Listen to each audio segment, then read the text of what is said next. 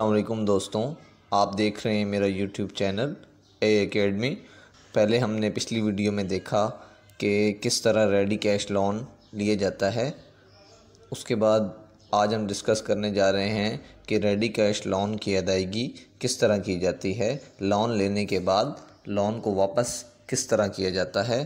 तो दोस्तों, सबसे पहले आप जैस कैश एप्लीकेशन में आते हैं, ठीक है? तो उसमें रेडी कैश का ऑप्शन आ रहा होता है। ये मैंने पिछली वीडियो में भी बताया है कि एडिट किस तरह करते हैं सामने ना हो तो। तो ये आप मेरी जैस कैश ऐप का रिव्यू है वीडियो दी हुई है, आप उसको जाके देख सकते हैं। या पिछली वीडियो में मैंने बताया है, आप वो वीडियो जाके देख सकते हैं। तो दोस्तों रेडी कैश लोन को वापस किस तरह किया जाता है? आसानी के साथ। तो इस पे आज हम बात करने जा रहे हैं।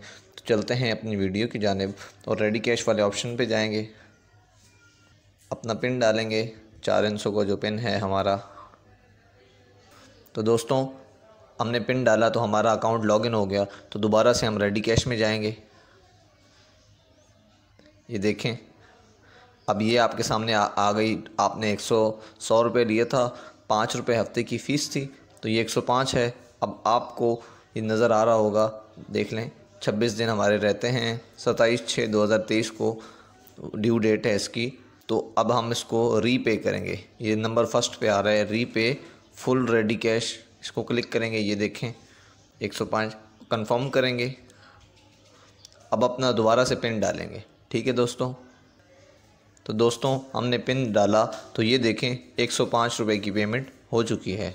तो दोस्तों इस तरह की मज़ीद वीडियोस को देखने के लिए हमारे चैनल को सब्सक्राइब करें, हमारी इस वीडियो को लाइक करें, शेयर करें।